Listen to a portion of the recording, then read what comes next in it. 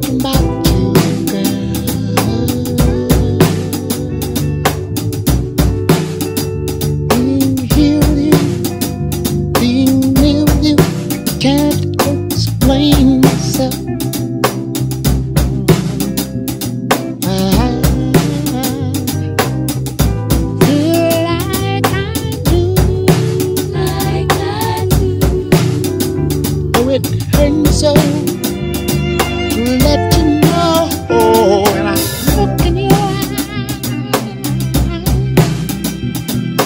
let me know